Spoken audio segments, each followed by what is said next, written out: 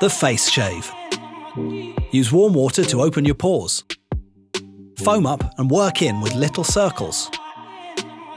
Click in blade. Grip razor lightly. Let it do the work. Take your time. Don't be pushy. Cold rinse to close pores and pat dry. Use some aftershave cream to cool down your face. And you're done. Change your shave at boldking.com.